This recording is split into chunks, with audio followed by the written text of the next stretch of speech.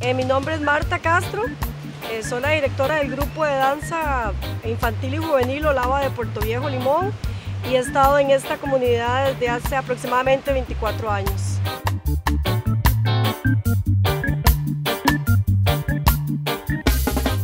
Eh, yo soy, bueno, soy Covirena, que es el Comité Voluntarios de Vigilancia de los Recursos Naturales.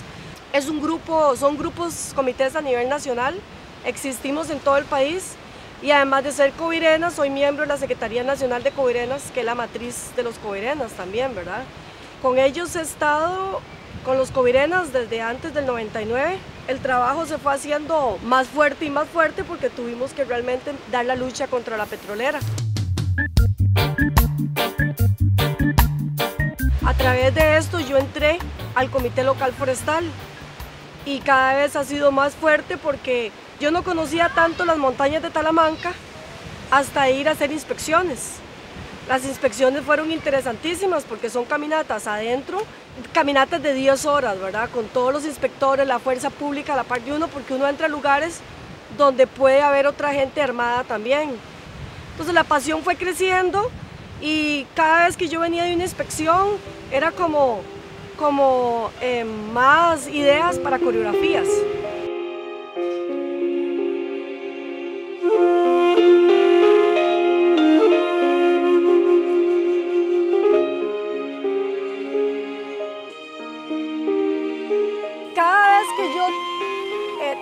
De agua, digo, ¿de dónde viene el agua?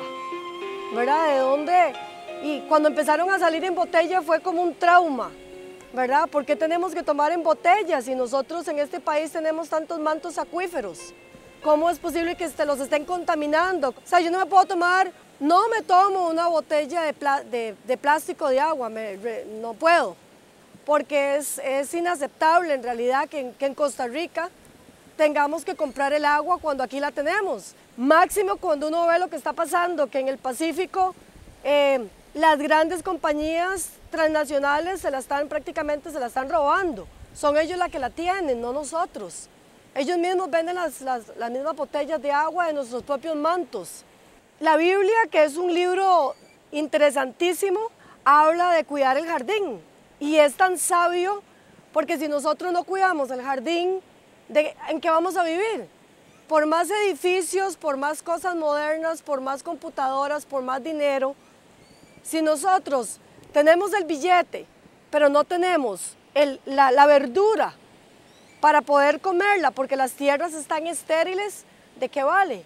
Y esas han sido las cosas que más me han motivado a, a, luchar y no parar, porque uno no para, al final uno dice otro día, otra cosa, y, y sigue, y sigue, y sigue.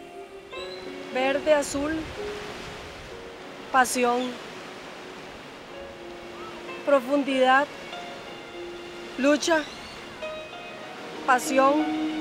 El, mar para mí es una belleza, ¿verdad? Por eso me vine a vivir aquí.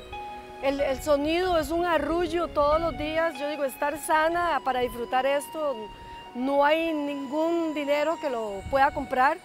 El despertarme y tener la oportunidad de ver el, el cielo, ver el sol, ver los árboles, venir al mar, el sentir la, la arena en los pies todos los días y la danza cuando, cuando también cuando bailo, ¿verdad? Que lo hago casi todas las tardes. Entonces finalmente llegué a, de hacer lo que quería, porque era bailar y estar en el mar.